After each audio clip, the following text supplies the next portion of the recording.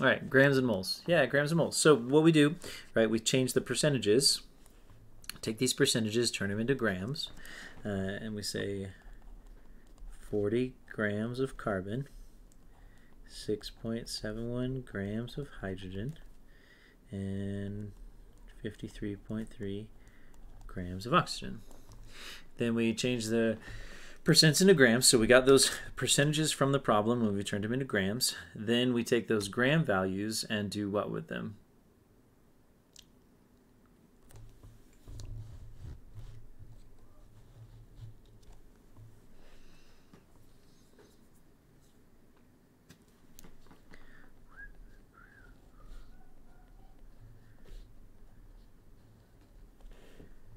Find out how many grams in mole. So we use the periodic table. Um, right. So reminder, I have these memorized, but okay, we know that um, carbon up here is 12 grams per mole, oxygen is 16, and hydrogen is 1. Okay, so 12 grams per 1 mole of carbon, 1.0 grams of hydrogen is 1 mole of hydrogen, and 16.0 grams of oxygen is 1 mole of oxygen. I think I said moles, but yeah, you guys got it. So this one's easy. I can do this one without a calculator. 6.71 moles of hydrogen. Other ones I'm going to have to pull up my calculator.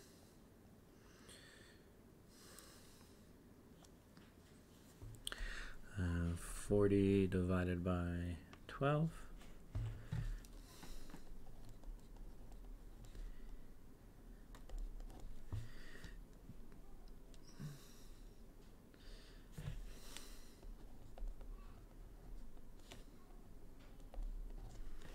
Okay, we get 3.33 moles of oxygen. Okay, we divide by the smallest. The smallest is 3.33. So we divide them all by 3.33 and we get 1, 2, 1. Okay, so that means our empirical formula is CH2O. Okay, but if we look at CH2O, right, does CH2O have a mass of 180? No. CH2O, if we add it up, 12 plus 1 times 2 plus 16, that is 30. Right? How does 30 compare to 180? Well, in order to get 30 up to 180, you have to multiply it by 6. And so, that way we know our molecular formula is C6H12O6, or as a lot of people in the chat are saying, glucose. Right? So this unknown white powder turns out to be glucose. Okay, cool. So sugar. Yeah, simple sugar. And thus not cocaine. Not this time. It could have been, but it's not. cocaine has nitrogen in it, I think. I don't remember the formula for cocaine. Hey! Thanks for the follow, Deb.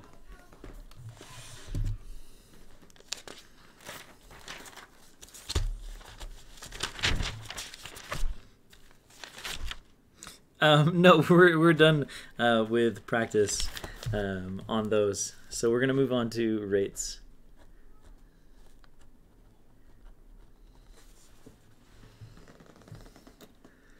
Um,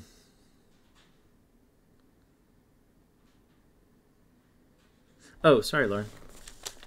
Yeah, yeah, yeah. Okay. Um, yeah, I should do a better job explaining that, Tyler. So um, the reason why we know it's times 6 is we compare this 30 to the 180 that was given in the problem.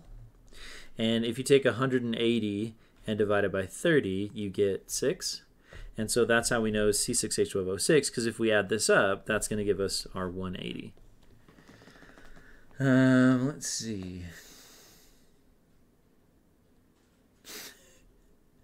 I'm sorry, Cooper, your audio is having some issues. Um, yeah, we just have one more test here. We have an assignment due Thursday, and then we have a test. So we have two assignments left one assignment, and then the final. Um, Tyler, did I answer your question? Okay, yeah, yeah I did. Good.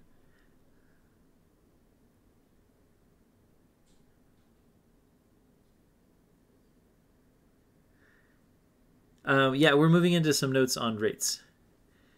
So we just finished molecular practice. Um, this the tests for this unit and the final are mushed together, Kate, because we just ran out of time.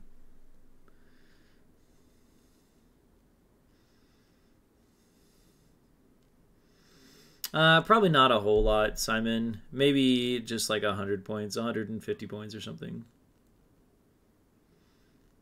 When do we do the learns on the final? what? So Olivia, we've been learning things that are going to be on the final for the the whole time we've been on break and before we went on break. Um, we'll review everything you need to know for the final on on Friday, Tiara.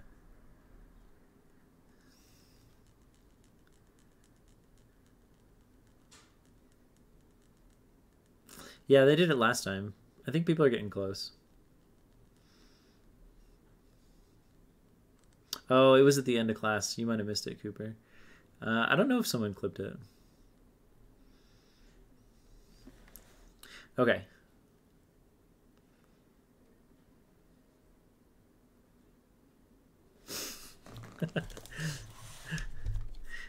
Stream a Kahoot. I might do that.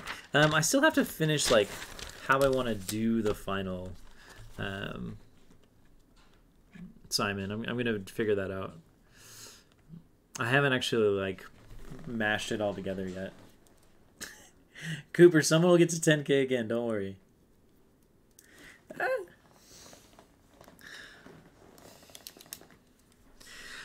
All right, let's talk about rates. So we we've talked a lot about chemical reactions up to this point. We've talked about you know the five types of reactions. We've talked about um, some math associated with equations, um, but we haven't talked about what determines how fast or slow a reaction goes.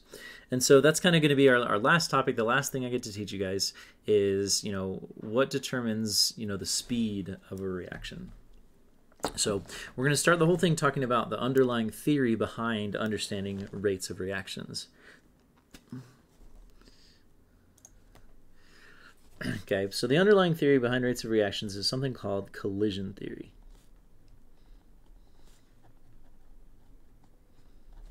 Okay. Um, collision theory states that um,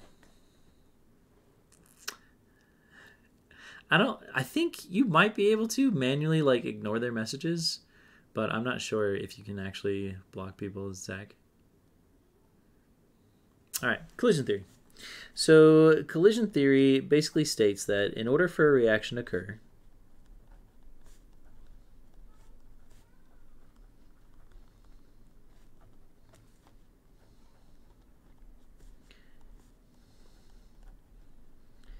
molecules and atoms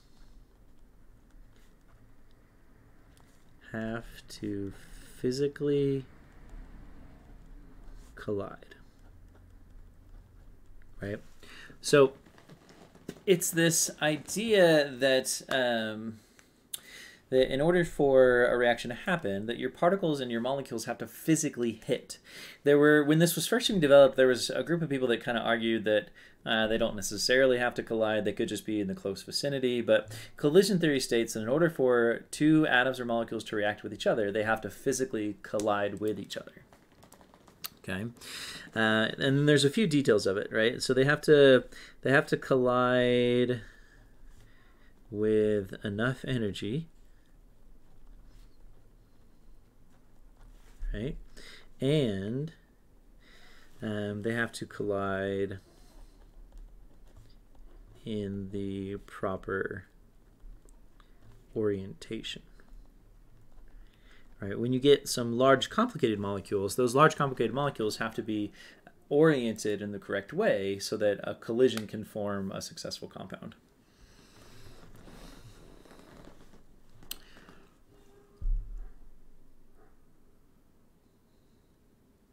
Okay.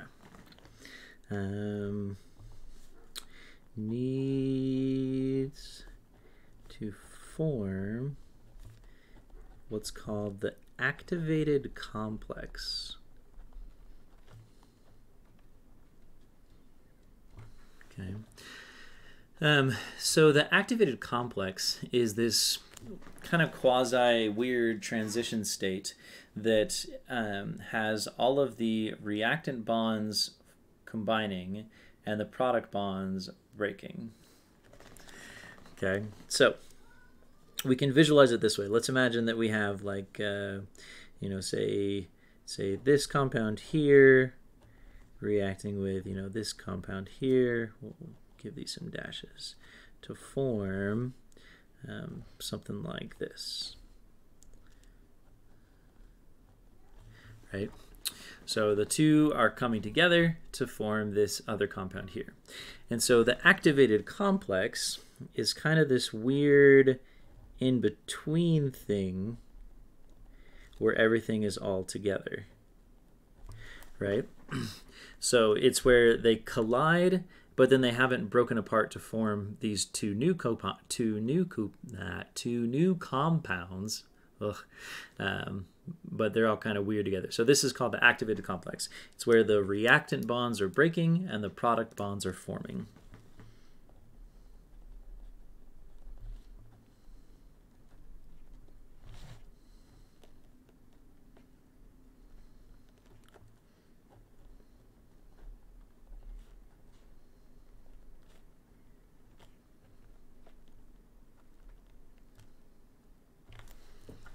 Okay.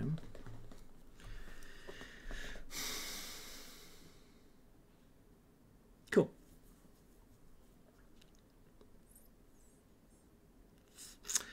We can actually express this graphically. Um, so we can draw, right, we can do a quick just kind of graph where we put, um, just do energy on the y-axis.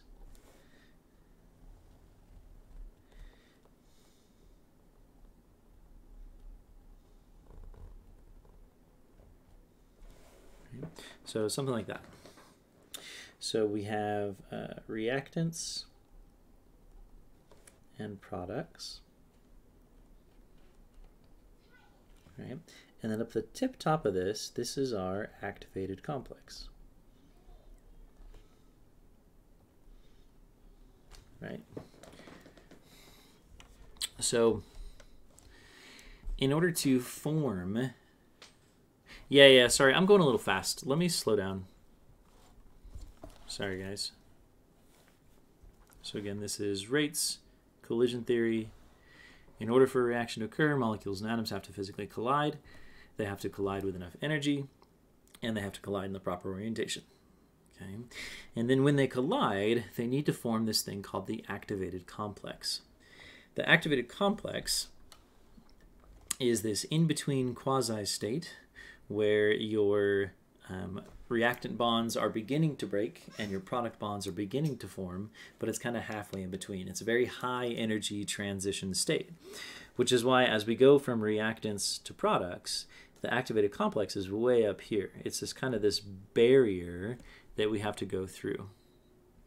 Um, so there's not a lot of energy produced. It, it, it absorbs energy in order to form. So in order to form this, we absorb energy. That energy that needs to be absorbed, right? This energy here is called the activation energy.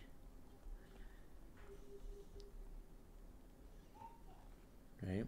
So in order to form this activated complex, you have to put in enough energy to form the, um, called the activation energy, right? And so there's this big old bump in order to form. Now, once the activated complex forms and it goes to the products, it'll release energy then. And so we could say overall, right, this amount of energy is what gets released. And we actually had a term for that way back at the start of the try. We called this delta H right? It was the heat energy. And so because reactant because the products are lower than the reactants, this reaction gives off energy. Although you have to put in enough energy in order to form the activated complex. Okay. Um, questions on that? I know I'm kind of going a little fast, but I want to get to a demonstration.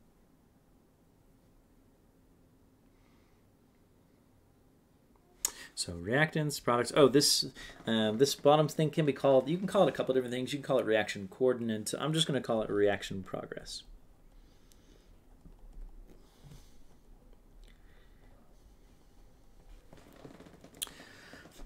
But like, if it takes energy for the compound to react, does that mean there's a point where they can't react anymore because they're out of energy? No, not in this case, Olivia, because in this case, it does take energy going this way, but once it forms and it drops down, all that energy gets released back out, right? So it takes in energy and then it releases a bunch out. It's kind of like when you have when you're trying to light something on fire, right? In order to get it to start burning, you have to provide some sort of spark. You have to put energy into it. But once you get it burning, the amount of energy you get back out is a lot more than the amount of energy you had to put in. Does that make sense? So you do have to put in energy, yes, but in this case, because the products are way down here, lower in energy, the amount of energy you get back out is more than the energy you put in. This is an exothermic reaction. But for some reactions that are endothermic, yeah, you would have to like constantly supply energy in order for the reaction to continue to, to progress. I know that was a lot.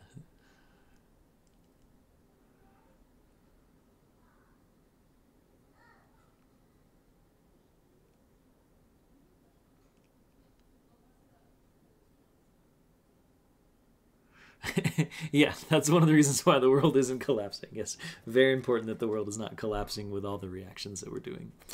Um, okay, so um, I'm gonna take a break here, and let's let's do some stuff.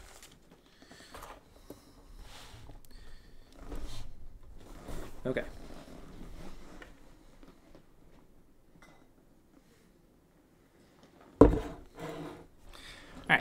I've got some lovely green liquid. It's it's green because I, I did food coloring.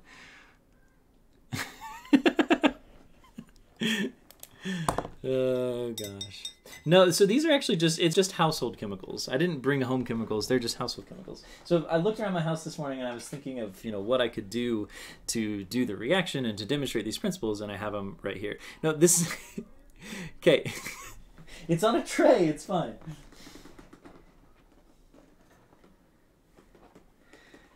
Okay, so this is vinegar that I've, you know, food colored, right? Um, so vinegar, and then I I watered it down a little bit, and I actually chilled it. So this is refrigerator temperature, um, and I have mm, I don't know. So this is vinegar with that that's been chilled with a little food coloring added. Okay. Um, and this is just a piece of baking soda that I've let kind of harden. Focus.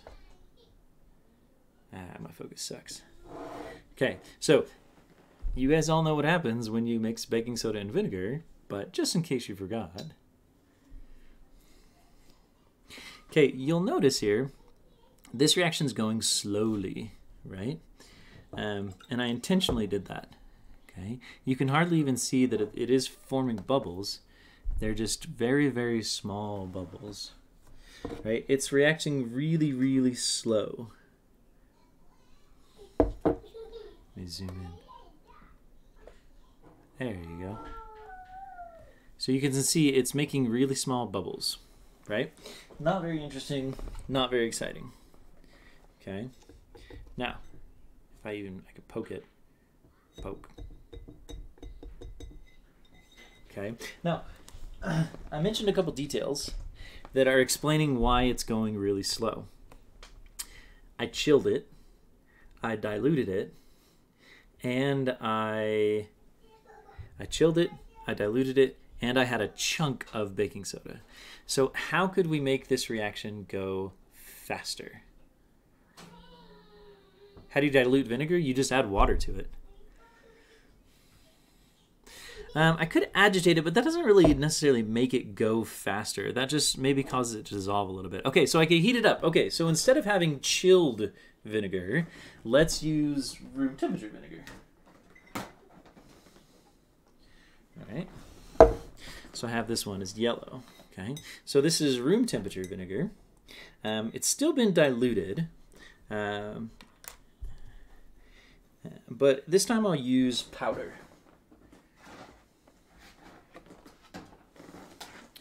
So this is warmer, uh, and I'm going to use powdered baking soda instead of um, instead of the one big chunk. Okay, so powdered baking soda going in.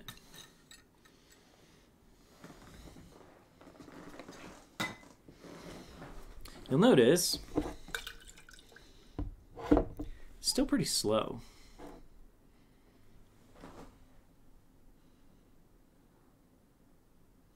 Well, there's some bubbles in there. Little tiny bubbles forming, right? So the big difference here is that I've diluted it. Concentration actually is a big factor, okay? Here, let me zoom out for you. So there's not actually a ton going off. Um, I have a catalyst for a different reaction, Simon. Okay, so again, diluted, boring, not that exciting. Okay, so for this last one, okay, this last one has not been diluted, so this is pure vinegar. Okay. We're gonna use powdered. And if I really wanted to, I could like, I could put it in a, I could put it in a, the microwave for a second and heat it up. That would actually cause it to go pretty fast. Okay, ready? Okay, so the concentrated vinegar makes a huge difference to how fast the reaction goes, right? Um. So there, there's a huge difference when we talk about concentration. And the reason why is that when you have higher concentrations, your atoms and molecules are going to collide into each other a lot more frequently, and so you get a lot more collisions, okay? Uh, no kaboom. Now, There is one more thing. I don't have a catalyst for this reaction, but I do have a catalyst for a slightly different reaction. Okay, let's talk about... Ow, as I stab myself.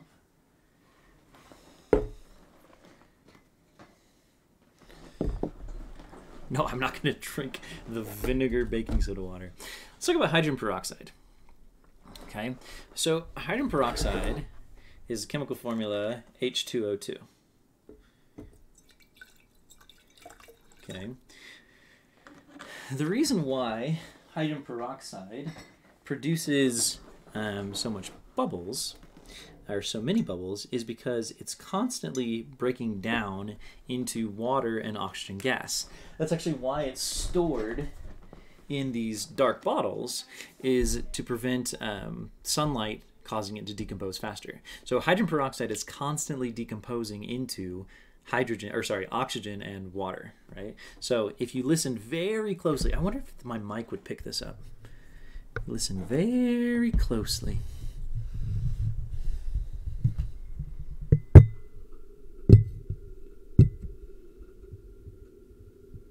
Can you hear the bubbles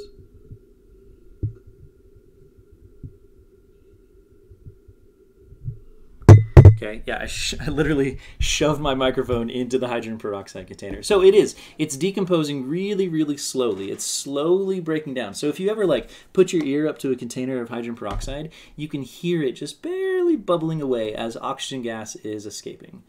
Okay. Um, okay. Now, yeast has an enzyme in it that will catalyze the reaction. Okay, so here's some simple powdered yeast. I'm going to add a little water to it to activate it. Say, wake up, little yeast. Wake up. Okay. sure, Simon. So Simon says to add some soap right? So I'm going to let the yeast activate. I'm going to add some soap to my hydrogen peroxide. Just some blue slope soap.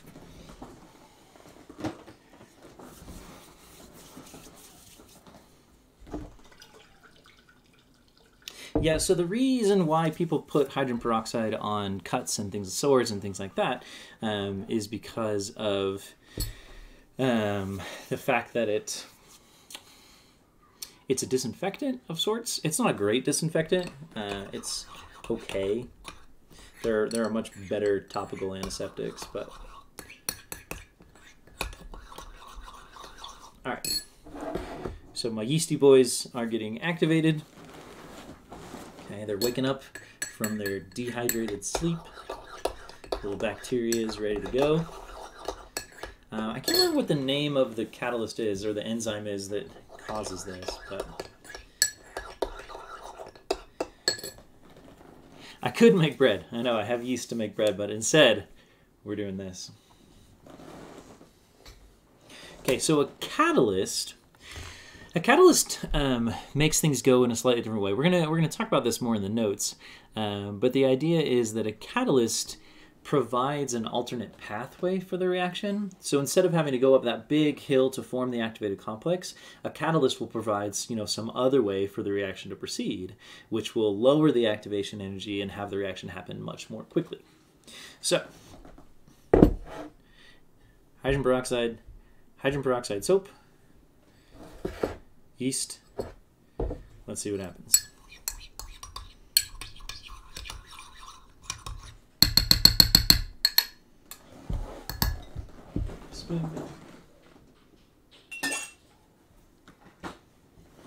Okay, here we go. Um, so I added the soap because the soap is going to catch the bubbles as they form. So the solution is going to bubble. It was going to bubble a lot on its own, uh, but Simon had told me to add some soap. So I added the soap to, it's going to catch the bubbles as, as these oxygen, as oxygen gas gets released from the reaction. Okay, here we go.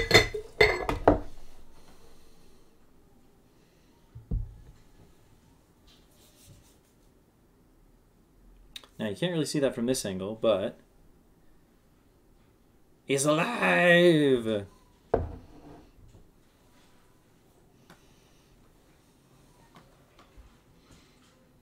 Those poor yeasties. Okay, again, you can't see it from that angle. But it's growing. Oh shoot, I hope this doesn't overflow. No, it's just forming white bubbles.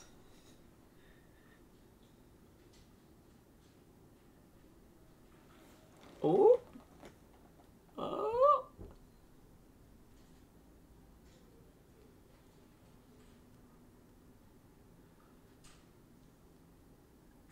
It's rising over the top. That's actually really cool.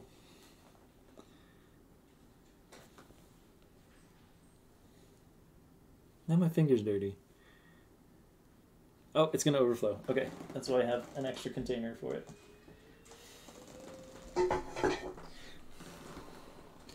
I'm not going to lick it. This is hydrogen peroxide soap and yeast. Why would I lick hydrogen peroxide? That's gross.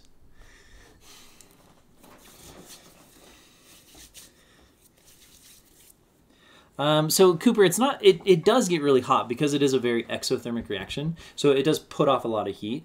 But when they do elephant toothpaste as like a science demonstration, they use a much higher concentration of hydrogen peroxide. So I used three percent. They usually use like ten percent or higher. Go get some milk. Um, won't it kill you? That's fine. Yeah, but it's low concentration hydrogen peroxide. Uh, 100% hydrogen peroxide is actually like explosive and almost impossible to isolate and obtain.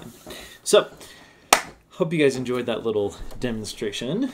We're going to do just a few things, a few notes to wrap it all together.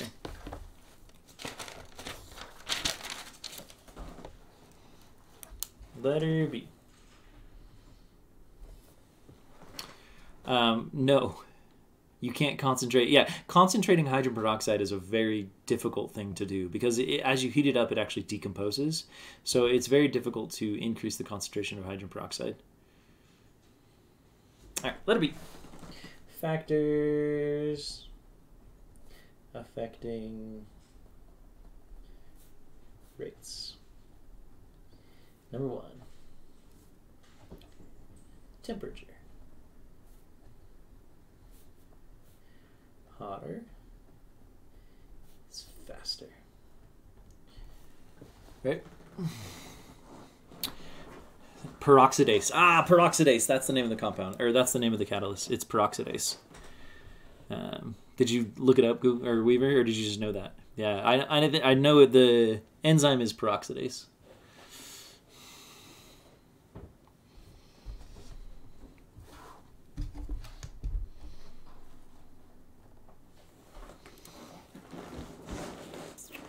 Okay. All right, so temperature, higher temperature, hotter temperatures is means the reaction is going to go faster. The reason that it goes faster is because um, temperature is a measure of average kinetic energy, right? So our atoms and molecules move around really fast, and so at a higher temperature, they're going to collide into each other more frequently with more energy, and so they're going to form the activated complex more easily. I don't know, Zach. It's not just concentration, it's amount as well. So speaking of concentration, our second factor is concentration.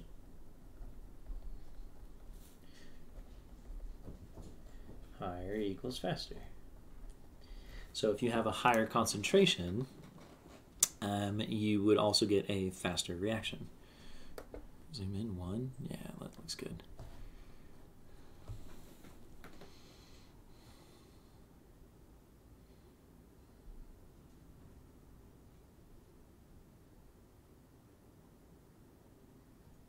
They're just factors in general, Lauren. So there's just a couple different ways to, to mess with a, a chemical reaction to make it faster. So you can increase the temperature, you can increase the concentration. Yeah, it's not necessarily the same order that we did them in. Uh, three.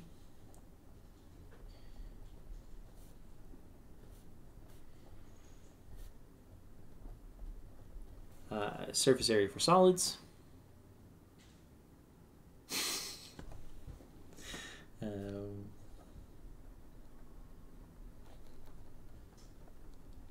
Right, greater equals faster.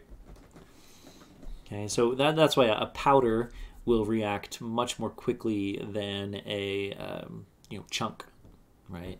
Uh, my powdered baking soda reacted much more rapidly than my solid baking soda did.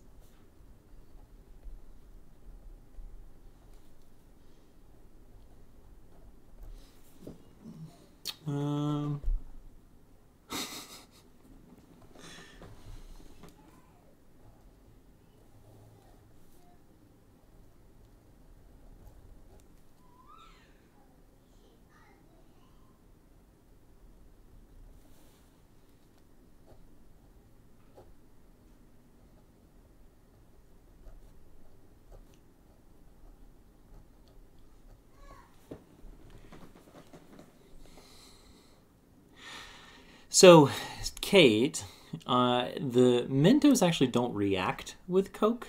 Um, they just provide provide what's called a nucleation site. It's it's the fact that they actually have little craters on them. Um, the the Mento itself doesn't really react. There are some chemicals that do. MythBusters did a fantastic episode on uh, Mentos and Coke. Uh, I wonder if you can find it online.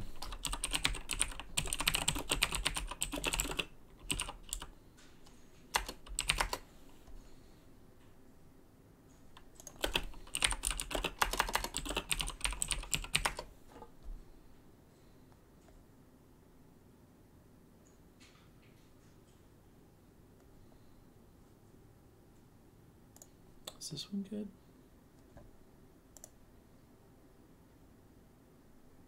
Don't try what you're about to see at home. Yeah, this is actually a pretty good link. Just Google, just Google MythBusters Diet Coke and Mentos. They actually talk about all the chemicals and all the other stuff they put together. Um, Weaver should have the assignment uploaded. He uploaded it on Friday.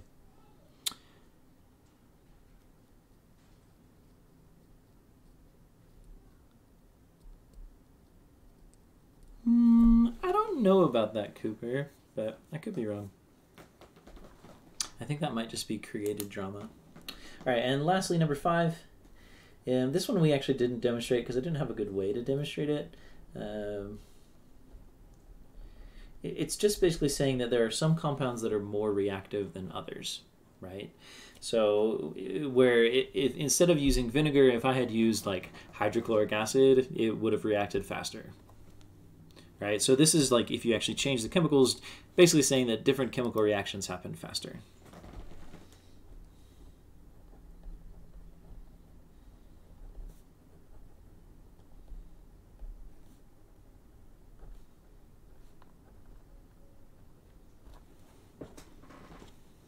but they could also react slower too. So it just kind of depends. Um, isotopes, Cooper. Um, only if you want to get really technical, like really technical. Um, you could maybe get into some issues with rates and isotopes because the heavier ones are going to be moving slower and they're going to react a little less frequently. But it's it's a very small relationship.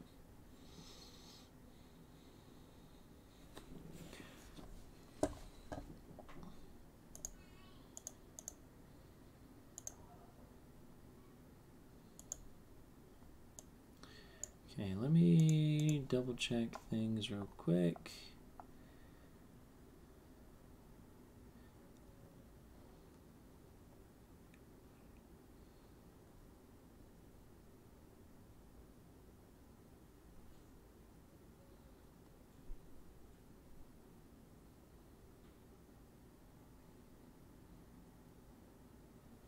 No, I'm looking at the worksheet. I can show you what I'm looking at.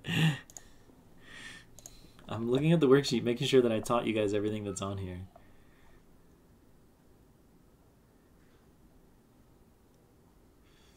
Pretty sure I did.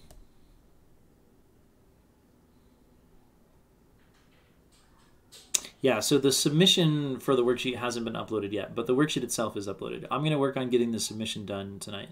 Um, I do want to mention probably one more thing. Um, So, how do I, do I want to put this? Well, I want to put this? Yeah, AP does, Isaac. We're going to go over that um, practice exam that I gave you guys over the weekend. And then we're going to just address any last concerns about the test.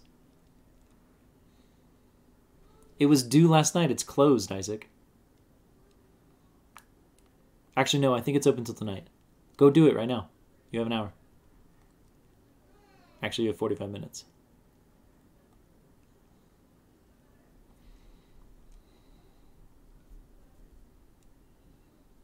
Yeah, I think I just gave you guys an extra day for people that forgot, but I wanted you guys to have it done before class today.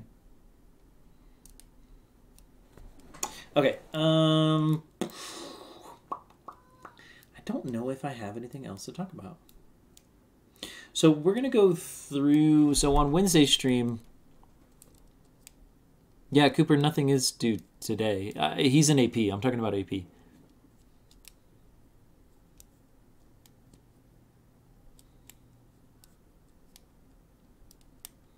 Yeah, sorry for the confusion.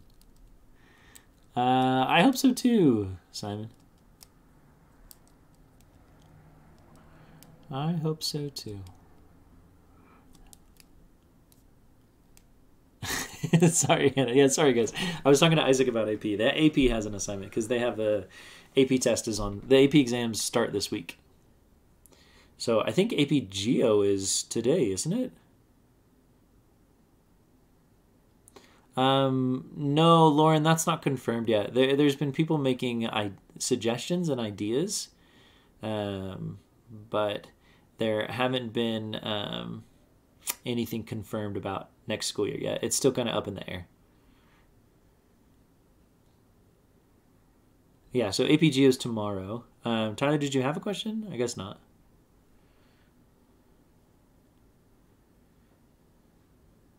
Yep, Euros on Wednesday.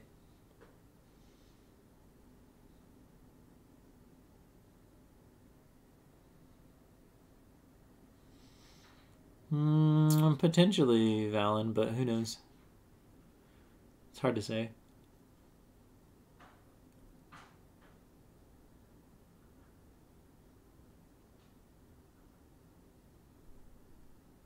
Oh. Yeah, capstone finish should have finished. Um, yeah. So after you take your AP Geography grant exam, you can always tune into the uh, Brighton Esports team. We're playing our quarterfinal match tomorrow, and then we have our semifinals on Thursday, and then the finals are next Tuesday if we keep winning. So we'll see. Um, I don't know if I have anything else to talk about rates. Um, so this, I think, is it for rates of reaction. Um, if there's any other things that I missed, uh, yeah, when we keep winning. The match today, the match tomorrow actually should be a blowout. We should just destroy them. So um, we'll see.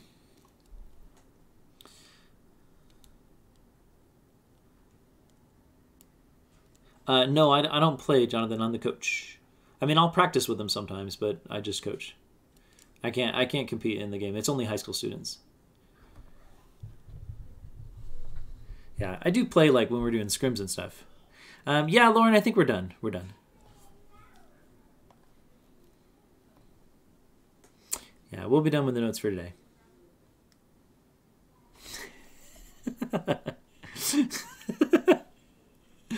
uh,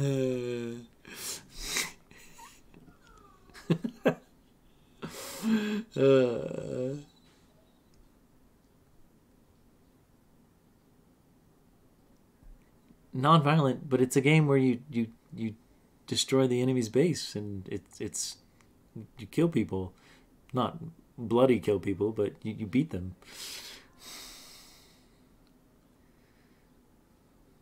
And Cooper hasn't even said all that much. You guys are trolls. Um, cool. So that's it for today. I'm gonna go ahead and end the stream, uh, so I can get ready for AP. Um, if you guys have any questions, work on the worksheet. I'll get it uploaded this afternoon. Um,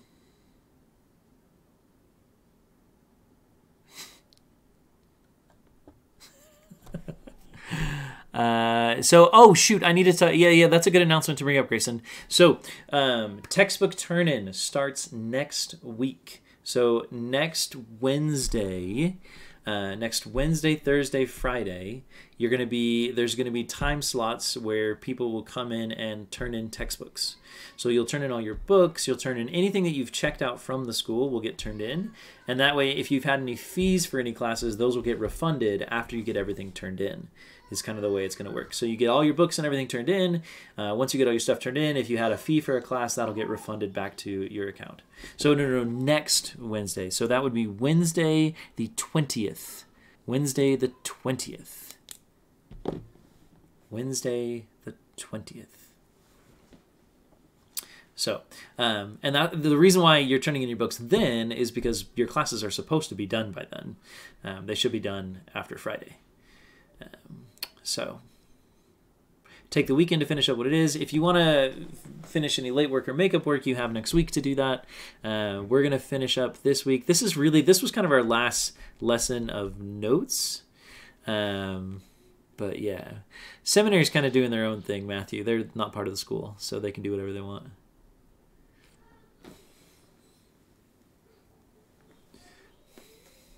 They could keep doing seminary through summer if they wanted to.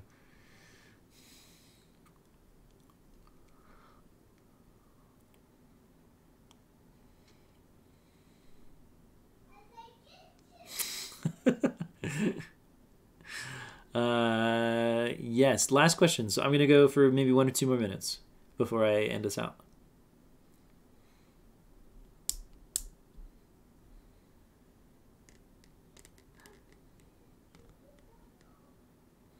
Nice. Doritos.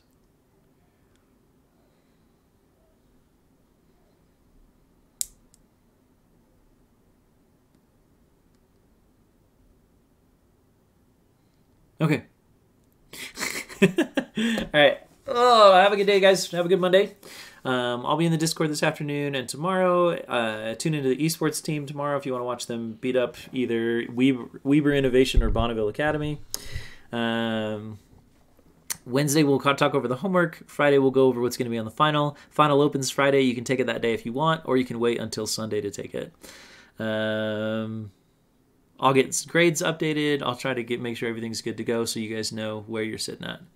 Um, yeah. Have a good rest of the day, guys.